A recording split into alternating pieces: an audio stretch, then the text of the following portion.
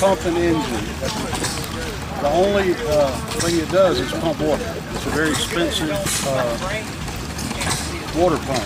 In the day, about 100 years ago, uh, if you had a big estate, country estate, they'd have one of these to pump out of the well into an overhead tank and, uh, and supply water for the uh, estate. It's real safe. There's no pressure involved. It's not high pressure. It's hot air. Uh, it goes from pressure to vacuum inside of the, the little cylinder and only about five pounds of pressure.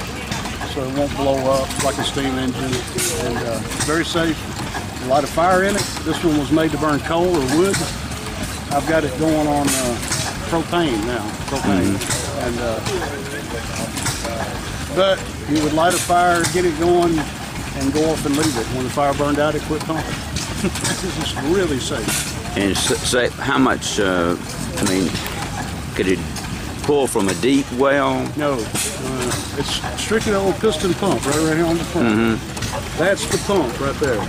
So what you would do, they had a model for a deep well that this rod went all the way down and you set this thing up right on the edge of the well.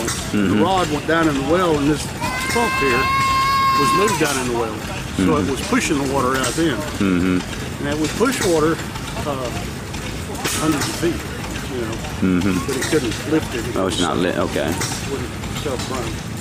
Now turn the fire down just a little bit too low, but uh, turn the gas down. Well, is that, is this an engine that caught on very much? Or, I mean, as far as, Oh yeah, uh, they were great engines and they worked really well, but uh, they were expensive, oh, really Okay. expensive, and uh, they used them a lot in buildings in Chicago and New York in the basement. Mm-hmm. Would run on natural gas.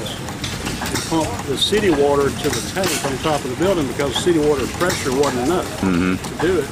And it worked great until you got electric motors. That put of business. Electricity. well, mm-hmm. That- And a gas engine would pump water like this would. You could hook it to a water pump mm-hmm. and then use it for so much more. too. Other Yeah. Chores around the farm, where this was strictly a water pump. So this was kind of a, that's all it did, pump mm-hmm. water. And they were expensive. yeah. And, and is, have you had this one a long time? I've had it about 15 years. Then did you have to restore it to, Uh-huh. I did, I did. Uh, basically, just took it apart, cleaned it, made a few parts, painted it, you know.